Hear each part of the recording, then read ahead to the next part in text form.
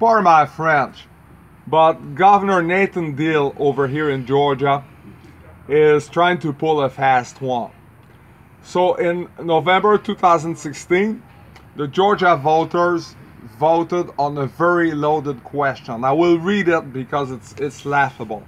It says, "Shall the Constitution of Georgia be amended to allow the state to intervene in, chrono- in chronically failing public schools in order to improve student performance?"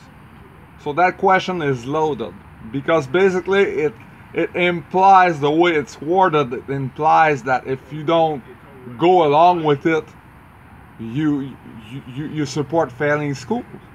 And who support failing schools? Nobody wants a failing school. Nobody wants their their kids to go to a, a school that is failing so the question was loaded but thank god georgians saw through the governor's game and they voted no on that ballot initiative. It was called an uh, Opportunity School District Initiative, and they voted no.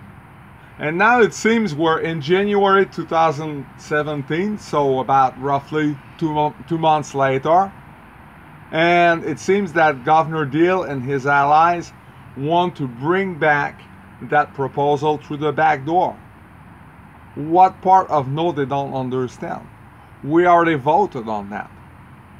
When Governor uh, Governor Deal was elected governor, we did not vote every three weeks again for governor until suddenly people might, you know, go on a fishing trip or whatever, and uh, we finally pull pull a, a, rabbit out of the hat and, and, and we defeat him as governor. That's not the way it works in democracy. You, you when when you know when you have the results, you're supposed to abide by the results.